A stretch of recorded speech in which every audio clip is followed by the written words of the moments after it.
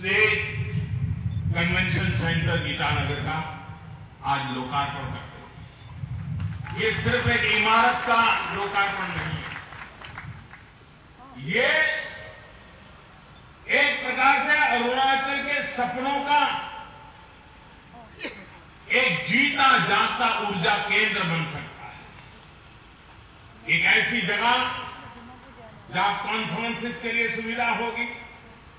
Cultural activity के लिए सुविधा होगी। और अगर हम अरुणाचल में टूरिज़्म बढ़ाना चाहते हैं तो मैं भी भारत सरकार की भिन्न भिन्न कंपनियों को कहूँगा कि अब वहाँ कन्वेंशन सेंटर बना है। आपकी जनरल बोर्ड की मीटिंग जाओ, अरुणाचल में करो।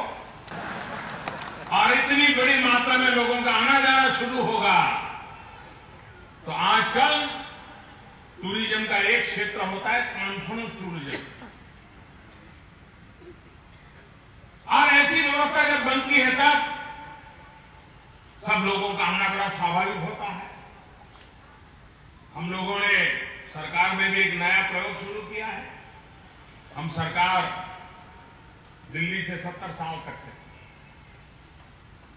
और लोग दिल्ली की तरफ़ देखते थे हमें आकर सरकार को हिंदुस्तान के हर कोने में ले जाने का बीड़ा उठाया है।